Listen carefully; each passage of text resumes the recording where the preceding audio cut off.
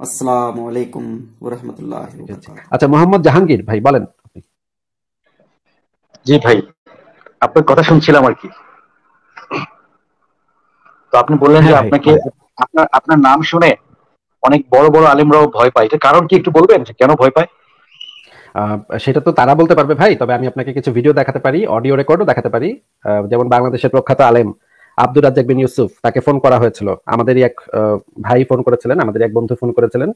Phone করে জিজ্ঞাসা করলেন যে হুজুর নাস্তিক আসিফ মহিউদ্দিনের সাথে আপনি একটা ডিবেট করেন একটা বিতর্ক করেন। নাস্তিক আসিফ মহিউদ্দিনকে একদম দাঁত ভাঙা জবাব দিয়ে দেন। তাহলে বাংলাদেশের সব নাস্তিকদের একদম থতামুখ ভতা হয়ে যাবে। আমার নাম শোনার পরেই আব্দুর রাজ্জাক বিন ইউসুফ থতমত খেয়ে ফোনটা রেখে দিছে তারপরে হচ্ছে বাংলাদেশের সর্বশ্রেষ্ঠ বাংলাদেশের বর্তমান সময়ে সবচেয়ে বড় আলেম হচ্ছে ডক্টর আবু বকর জাকারিয়া। যিনি হচ্ছেন কুষ্টি বিশ্ববিদ্যালয়ে ইসলামিক স্টাডিজের প্রধান ডিন। সে মাঝে মাঝে আমার আমার ভাই আপনি ভিডিও অন করতে পারেন ভিডিও অন করলে কোনো সমস্যা নেই। আচ্ছা। আচ্ছা ঠিক আছে।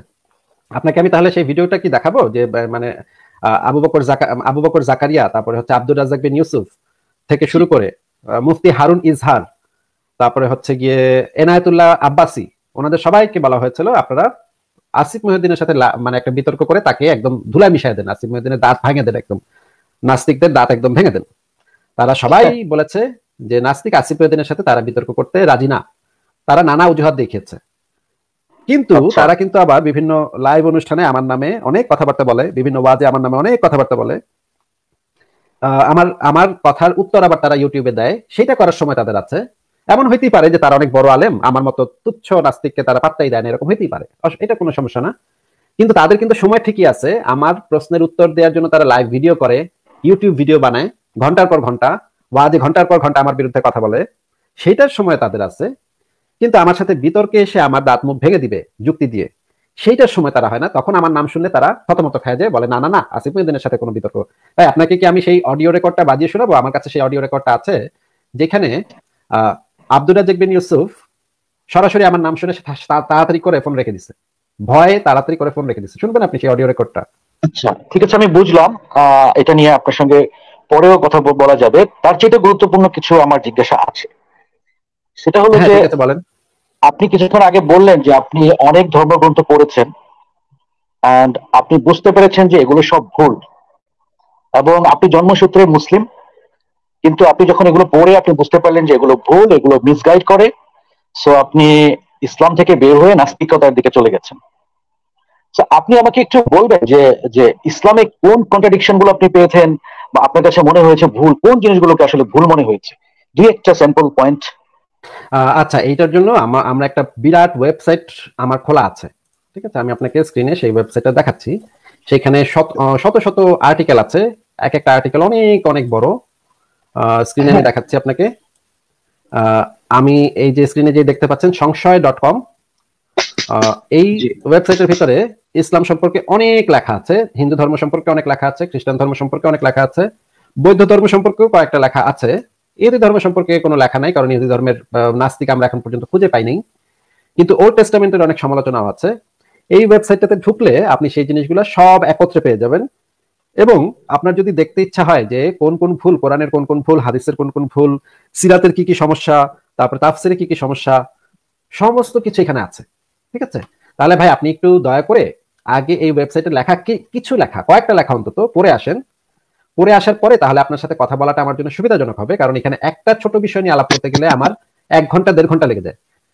আপনি যদি পড়ে আসেন, পড়ে আসার পর যদি সেখানে কোনো ভুল পান বা সেখানে কোনো একটা সমস্যা দেখতে পান, কোনো রেফারেন্সের সমস্যা দেখতে পান তাহলে আপনি এসে আমাকে জিজ্ঞাসা করতে পারেন, ভাই, এই জিনিসটা নিয়ে, এই পয়েন্টটা নিয়ে আজকে আমি আলোচনা করতে চাই, আপনি আমার সাথে এটা নিয়ে আলোচনা করেন। তখন আমি সেই স্পেসিফিক পয়েন্টটা নিয়ে আলোচনা করতে পারি।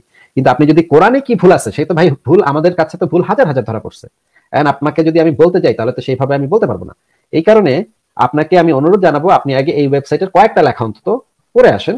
পড়ার পরে আপনি আমাকে স্পেসিফাই করে দেন কোন পয়েন্টে আপনি কথা বলবেন। তখন আমার জন্য কথা বলাটা সুবিধাজনক। ঠিক আছে ভাই? আচ্ছা। আচ্ছা আমি পয়েন্টে কথা বলি, ইসলাম নিয়ে। ভাই, আপনার কথা কিন্তু আমি শুনতে পাচ্ছি না। জাহাঙ্গীর, মোহাম্মদ জাহাঙ্গীর, আমি কিন্তু আপনার কথা শুনতে পাচ্ছি না। মোহাম্মদ জাহাঙ্গীর ভাই, আমি আপনার কথা কিন্তু শুনতে পাচ্ছি না। আপনার কথা বন্ধ হয়ে গেছে। আপনি আনমিউটই আছেন, কিন্তু আপনার কোনো কথা আমি শুনতে পাচ্ছি না। না আপনাকে আর রাখা যাচ্ছে না ভাই। আপনি আবার পরে আরেক সময় যুক্ত হয়েন আপনাকে আমি বিদায় করে দিচ্ছি কারণ আপনার কথা আমি শুনতে পাচ্ছি না। সাইয়েদ কুতুব আপনাকে যুক্ত করেছি। সাইয়েদ কুতুব আপনি বলেন। নামটা তো রেখেছেন মাসাল্লাহ হ্যাঁ আসিফ চিনতে পারছেন আমাকে? সাইড করতে যে টেরোরিস্ট হ্যাঁ মানে অবশ্যই চিনতে পারছি। বর্তমান সময়ের ইসলামিক টেরোরিজমের জনক পিতা যাকে বলে। আচ্ছা যাই হোক আপনার উপর আশা করি শান্তি বর্ষিত হোক। তা আমি একটা ছোট্ট প্রশ্ন করে চলে যাব। আচ্ছা কোরআন শরীফের চুয়ান্ন নম্বর সুরা সুরা আল কামার সতেরো নম্বর আয়তে আল্লাহ তাআলা স্বয়ং আল্লাহ তাআলা নিজে বলেছেন যে বলা খদি গাসারলি কোরআন আল যিকরি ফাখল মুদ্দাকির আমি কোরআনকে নাজিল করেছি সহজ ভাষায়, যাতে আপনারা কেউ এমন কেউ কি আছে যে উপদেশ গ্রহণ করবে। তো আমার প্রশ্ন, যে মুমিনেরা যে দাবি করে যে কোরআনের যে ভাষা, আরবি ভাষা, এটা একটু জটিল ভাষা, এটাকে অনুবাদ করলে হবে কি যে এক শব্দের অনেক মানে পাবেন, এক শব্দের উনিশটা মানে পাবেন। তো তাহলে এটা কি সরাসরি তার এই কথারই কাউন্টার করা হচ্ছে না? ধন্যবাদ। অবশ্যই ভাই, অবশ্যই। শুধু এখানেই না, আরও অনেকগুলো জায়গাতে, কোরআনে অনেকগুলো জায়গাতে আসলে বলা হয়েছে। আমি সহজ করে কোরআন নাজিল করেছি। অনেকগুলো জায়গাতে এই জিনিসটা বলা হয়েছে, পরিষ্কারভাবেই বলা হয়েছে। সুতরাং এটা নিয়ে যারা টানা পেঁচায়, তারা তো সরাসরি কোরআন অবমাননা করছে। কারণ কোরআনে আল্লাহ পাকি তো বলে দিয়েছে? আমি সহজ ভাষায় কোরআনকে নাজিল করেছি যেন তারা বুঝতে পারে। এটা তো সরাসরি আল্লাহর কথা। আল্লাহর উপরে পাকনা এখন ভাই, যদি কেউ আল্লাহর উপরে বেশি পাকনা হয়ে যায় তাহলে তো সমস্যা। এখন কোরআনের দুই ধরনের ইয়া আছে। একটা হচ্ছে গায়েব, গায়েবি যেইগুলোর অর্থ আল্লাহ পাক ছাড়া আর কেউ জানে না, যেমন আলিফ, লাম, মিম। এইটার অর্থ আল্লাহ পাক ছাড়া আর কেউ জানে না। এইটা হচ্ছে গায়েব গায়েবের ব্যাপার। এটার অর্থ কেউ কখনো বের করতে পারবে না।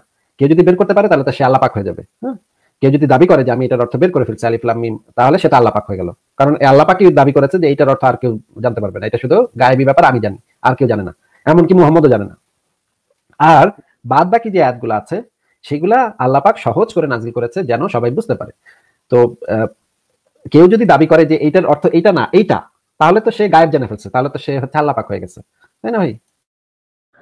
আচ্ছা ঠিক আছে। আলিফ লাম হাত্তি মাটি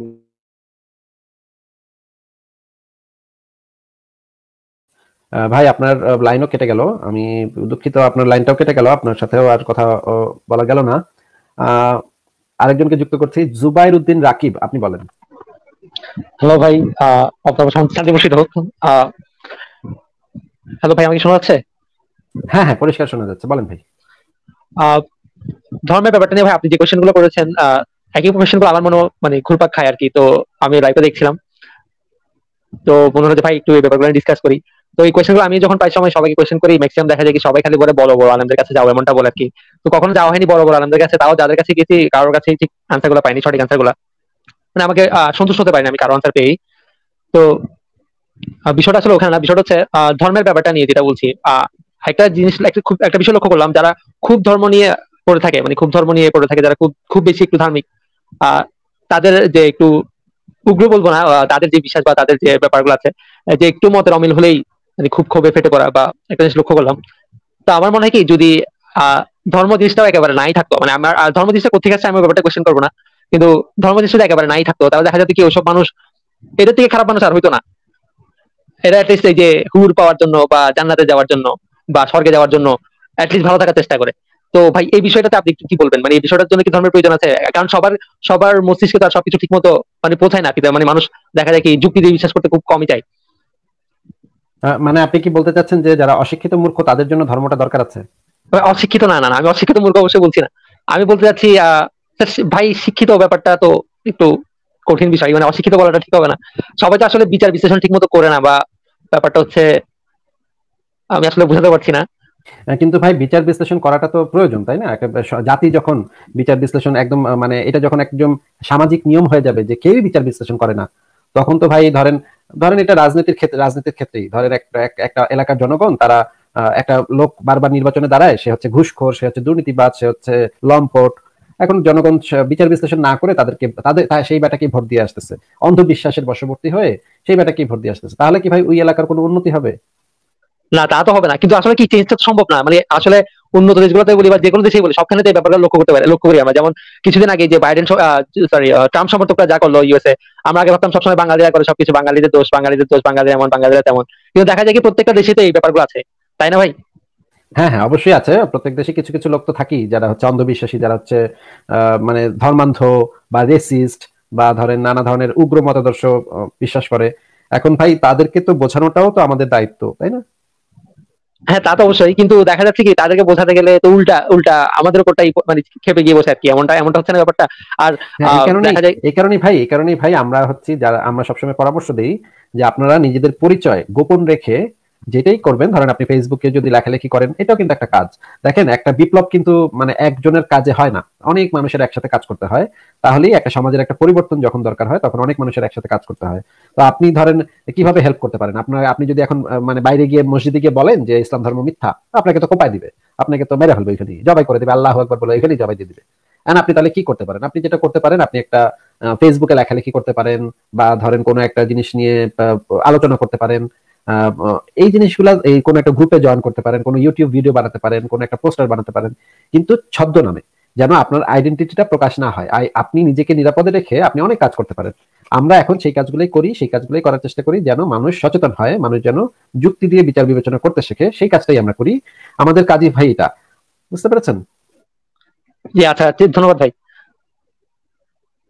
ঠিক আছে তাহলে রাকিব ভাই আপনাকে বিদায় জানাই। ভালো থাকবেন আপনি আপনার জন্য শুভকামনা রইল। জি ভালো থাকবেন ভাই। আচ্ছা ঠিক আছে।